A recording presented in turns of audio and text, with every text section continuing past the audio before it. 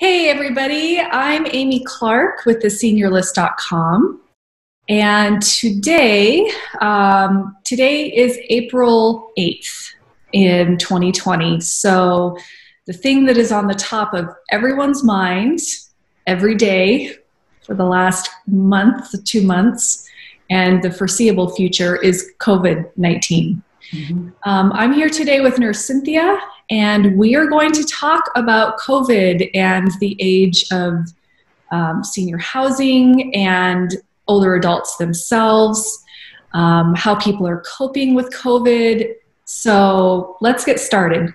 Uh, just yeah. cut through any chit chat in the beginning. Um, thank you, Cynthia, for joining us.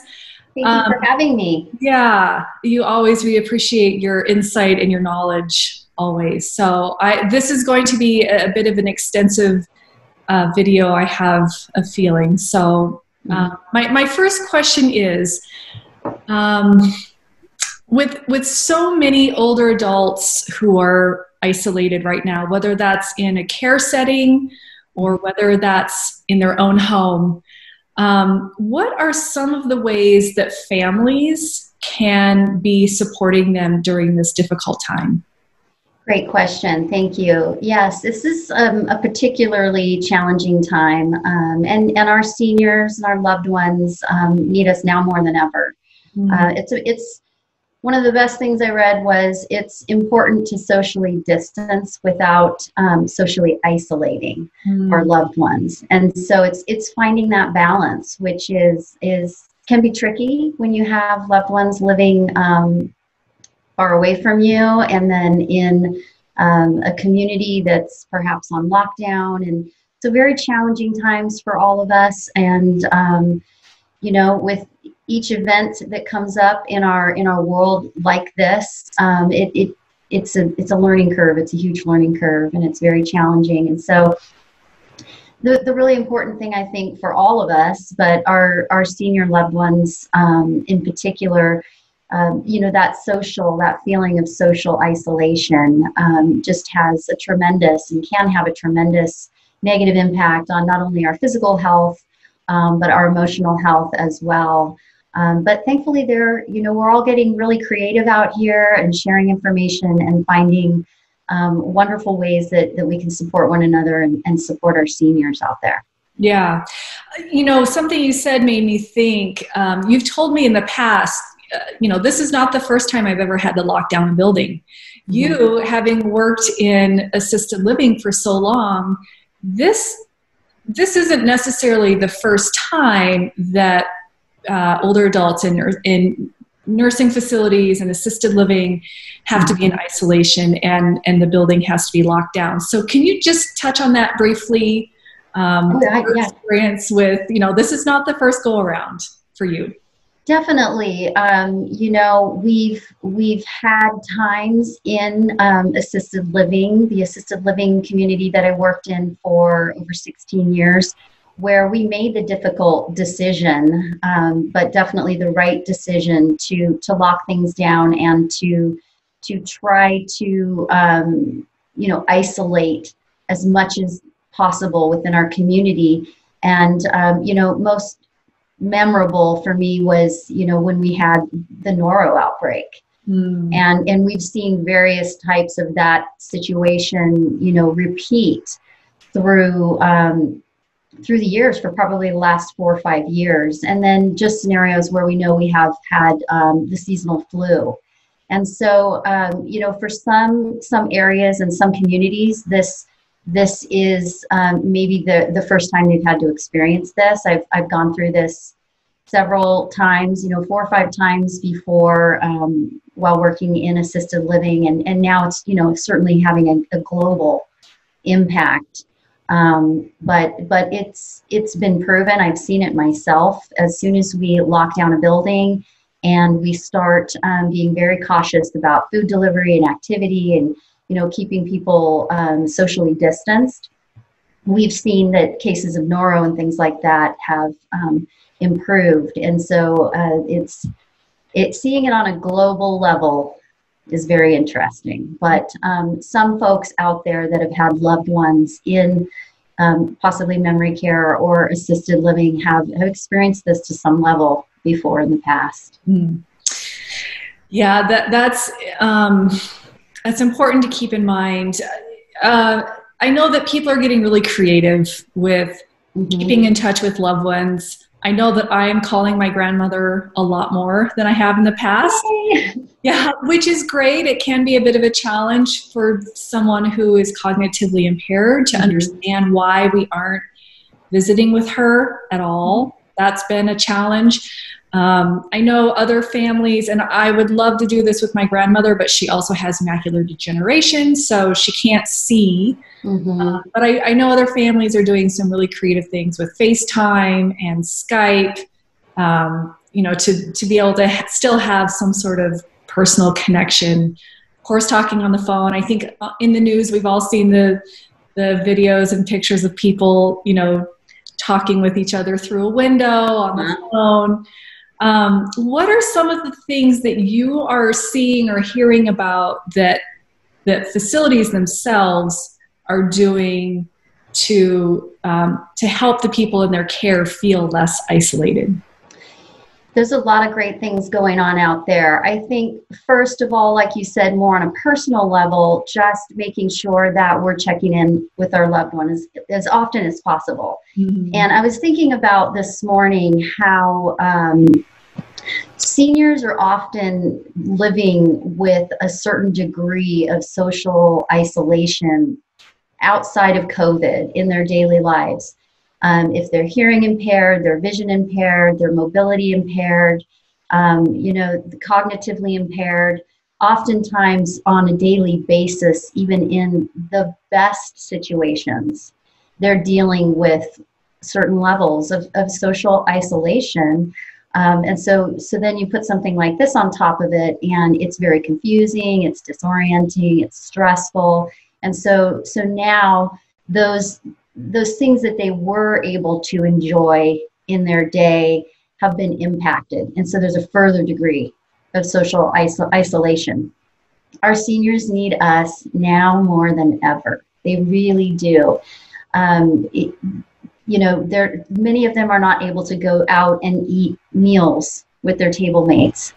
Their activities within their communities um, have been changed and are being done in different ways. And those little things that they used to gauge their day on, you know, breakfast, lunch, and dinner with with a friend, um, going out for a walk, going to bingo, all of those things have been impacted, which just adds another layer to um, already so many issues that they're dealing with physically and emotionally and mentally. And so, really making sure that we're, we're keeping in touch with our loved ones. And um, easier said than done in some situations, like you were saying with your grandma. Um, you know, sometimes talking on a phone can be confusing, mm-hmm. and trying to Skype and FaceTime and do all those things can be very difficult. Um, but but really just trying to get creative um, a phone call, sometimes just a phone call, morning and evening every day can be that one thing that that person is looking forward to, to brighten their day, to, to orient them to morning and night when all their normal activities are just sort of blending together. Like they are for all of us right now. They are. It's a, what, what's breakfast versus lunch versus dinner. It's happening at different times. And, you know, um, it, it, can add to um, it, cognitive impairment, you know, and it, it can increase their cognitive impairment because they don't have those cues throughout their day that would orient them normally they're not they're not getting up and going out. So maybe they're not even like many of us getting dressed every day. And so um, really being aware of of where where they are in in their world um, and just trying to to find some ways to to bring them some joy and, and some company. Um, I think that um, encouraging them to do things that they enjoy, that you know that they like to en- enjoy um, doing, which is like reading a book or doing a crossword or asking them about those things. Are you reading a book right now? Are you working on some of your crosswords? Are you knitting? Um, you know, hey, have you have you watched you know any great movies lately? And sort of cueing them and encouraging them to to keep going and to find different ways to fill their time because for um, for seniors that are active in their assisted living community um, or in their community at large, um, you know, this this can be a very challenging situation for them. Some folks are very introverted and, and they might not notice a big change in their day, mm-hmm, yeah. but but they know that there's a lot of things going on out there, and they're worried about their health and their life and the, their their their families, um, and so it, it's a trying time. I think one important thing to do is just to really ask them, "Hey, how are you? How are you feeling physically?"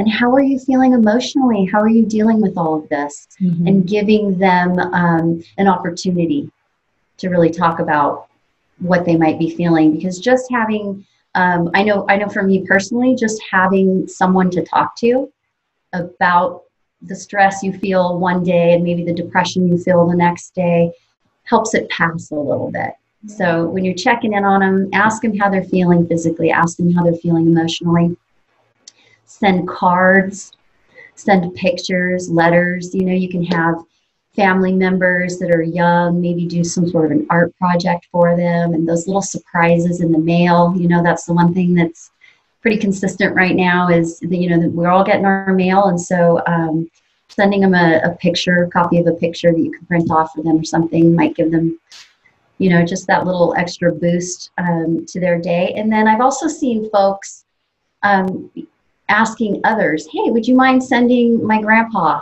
a card? Yeah. You know, and just reaching out to your circle and your community and and um, asking folks to kind of pitch in to help our our loved ones um, feel important and not forgotten.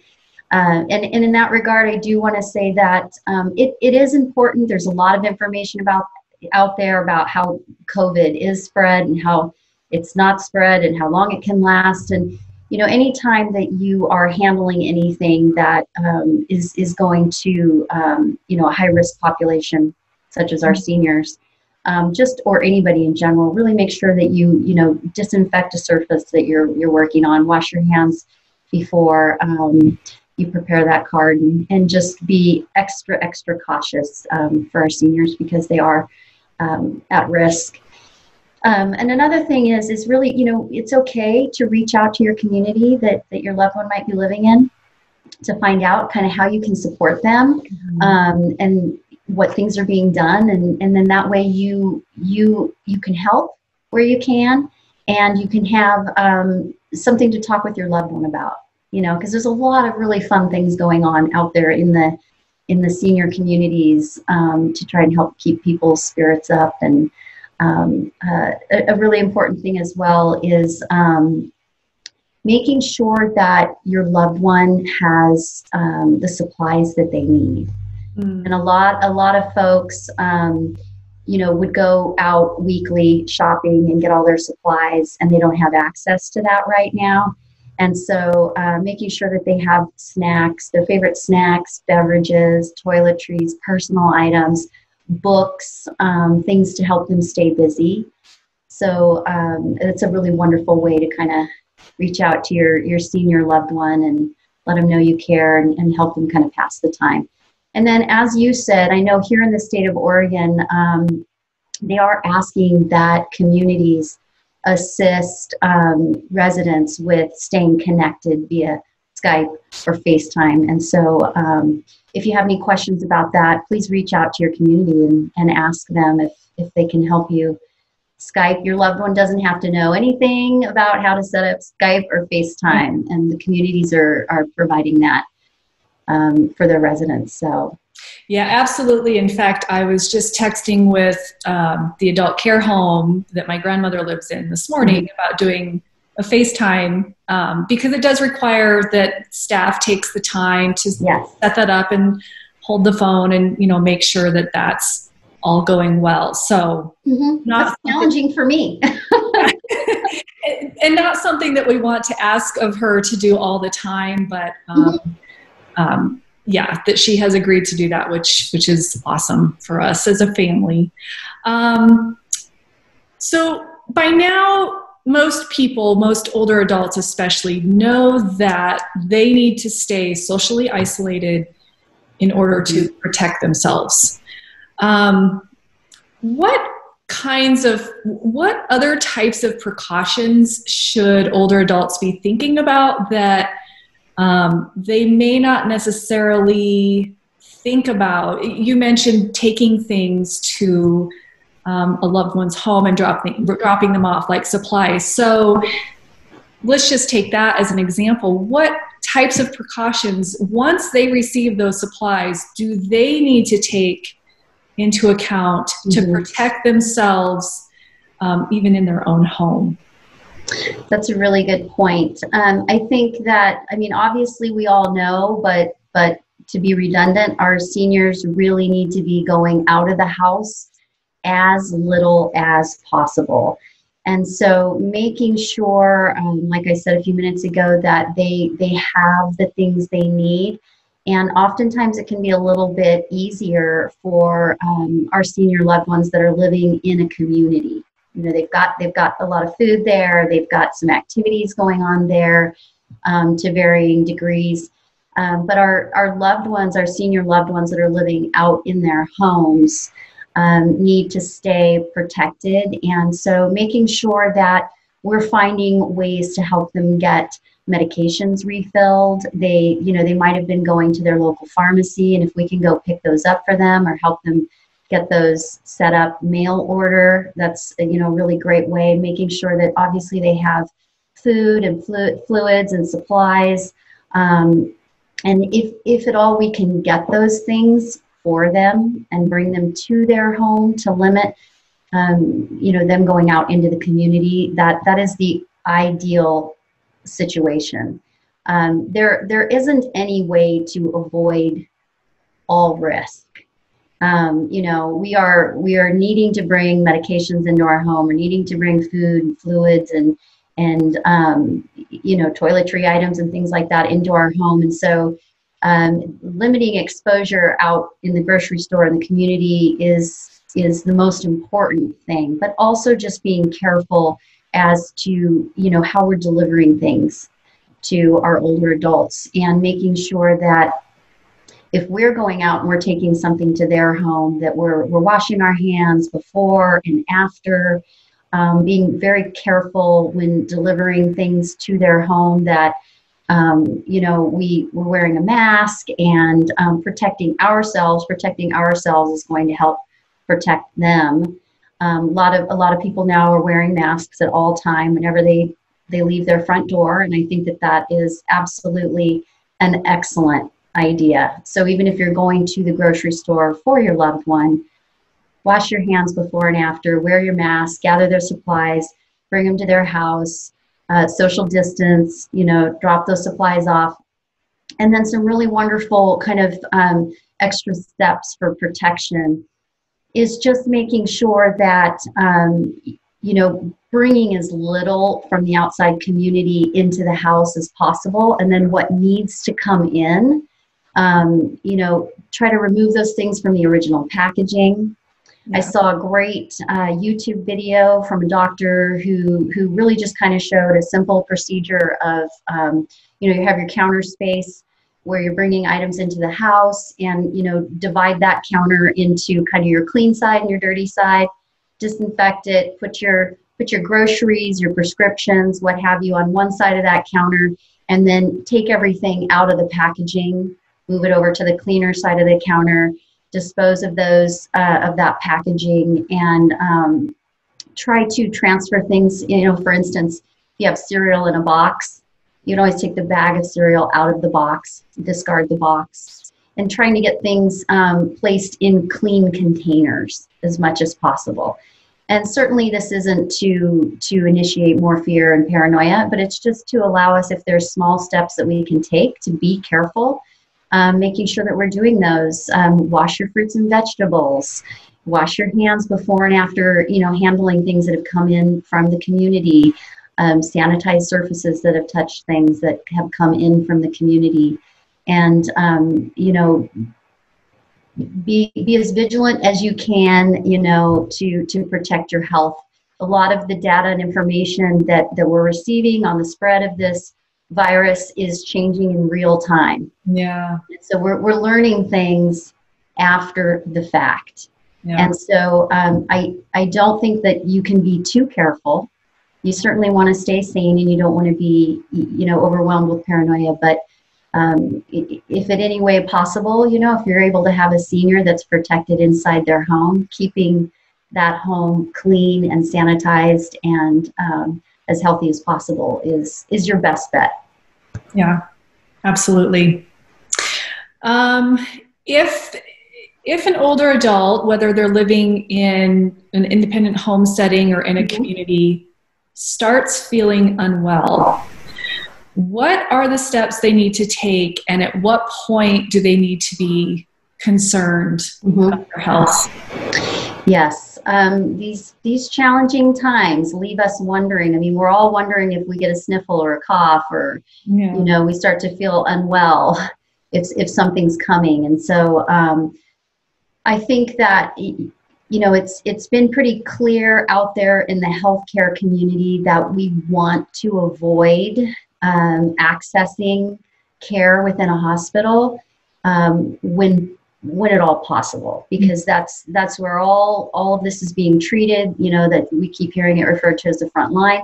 And so that's the most dangerous place for folks to go. Um, in assisted facilities what i'm seeing is when you know they're, they're checking people's temperatures and monitoring for symptoms on a regular basis.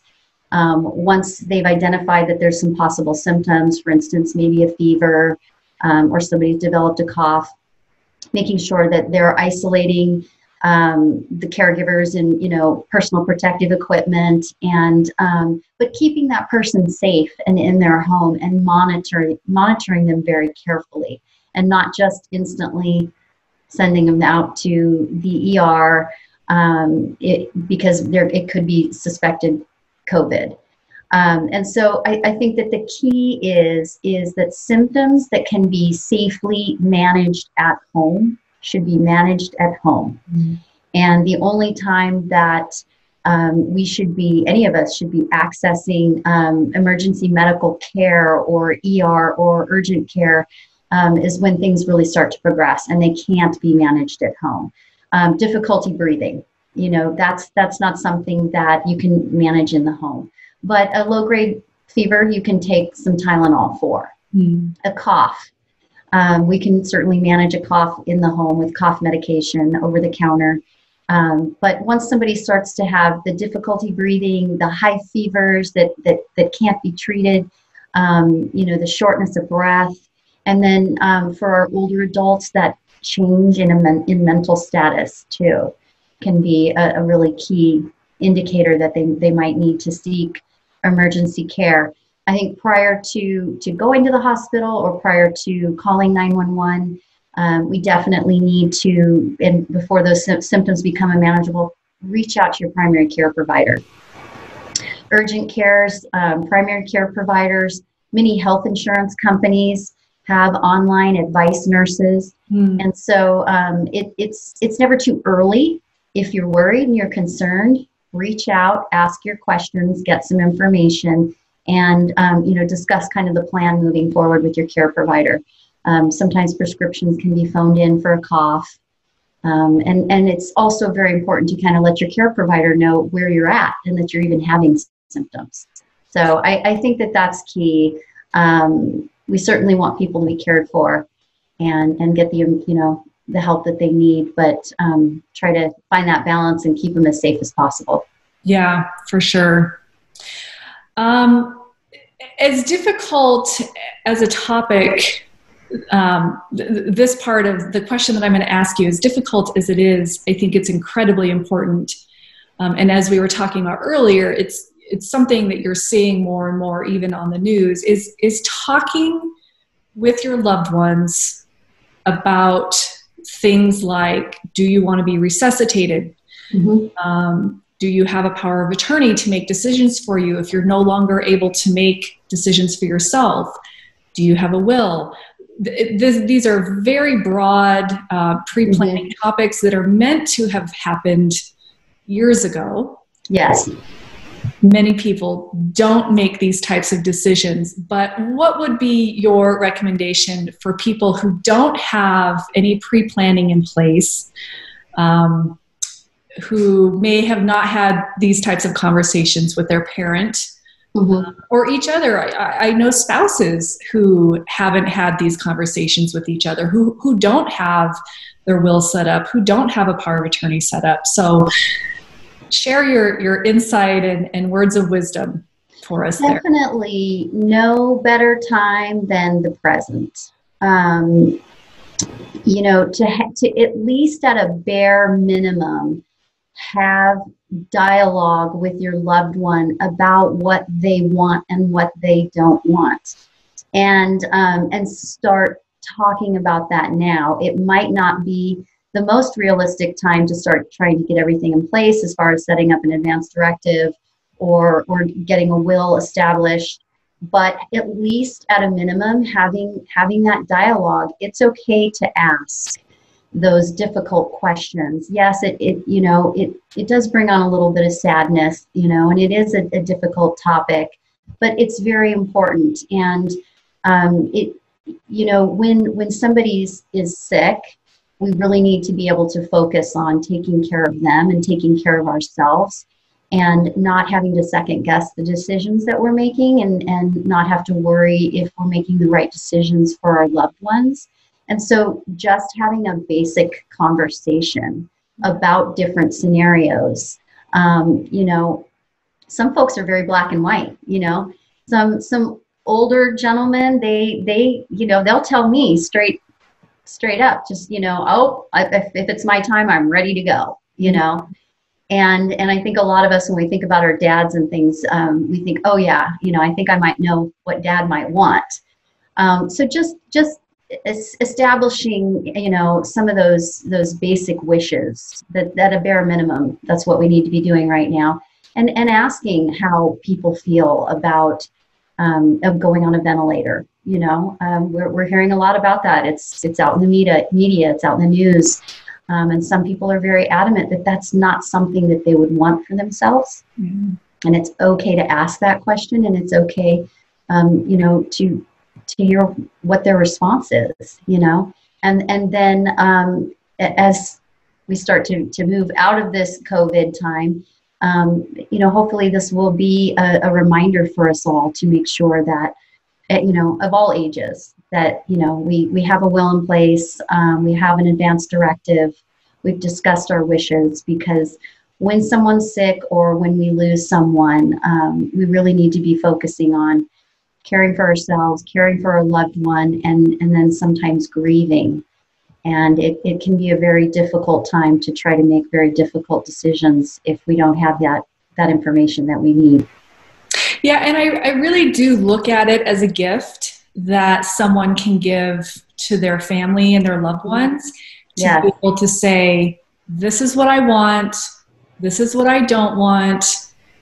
You know, here's how I want to be treated in this scenario. You know, here's who I want to make these decisions for me. Mm-hmm. You don't want to have your family members trying to figure that out in the heat of the moment in a, in a crisis scenario. It's just, it's incredibly unfair to them. So um, I, I I second your recommendations that people need to get something in place, even if it's the bare bones for now, having a power of attorney, having a conversation with your loved ones about what you want. And then on down the road, if it makes sense to, you know, have a more formal, you know, wills drawn up and, and um, advance directives and all of that good stuff, then, then so be it. But yes, at least some basics put in place now, I think behooves all of us.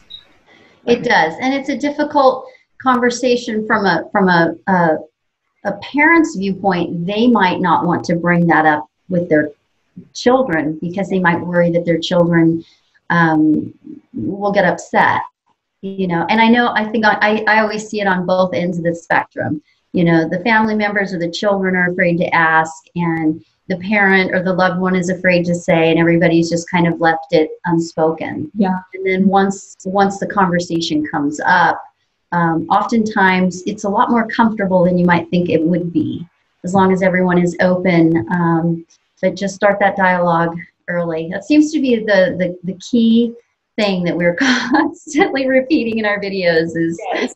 you know but prepare early talk about things yeah have conversations, Mm-hmm. even though they're uncomfortable. It's it's way better than the alternative of trying to have them or not being able to have them. Yes. in of crisis. And you can even say, "Hey, I saw this video." yeah, blame it on us. Yeah. Yeah. we need, we need to talk about this. said, I need to have this conversation with you. Yes. Yes. Yeah. Okay. Great. Well, I, that wraps it up for me for the questions I had for you. Thank you so much, Cynthia, for talking to us and our, our visitors um, about these sensitive and generally tough topics. Yeah. You do it with grace and, and a lot of knowledge, and your expertise is very um, appreciated. So, thank you so Thank much. you. It's my pleasure to share the information and hopefully help some people out. And um, I just I send everybody blessings and well wishes and stay safe out there. Yeah, likewise. Uh, stay safe yourself, and we'll talk to you again soon. Okay. Thank you. Thanks, everyone.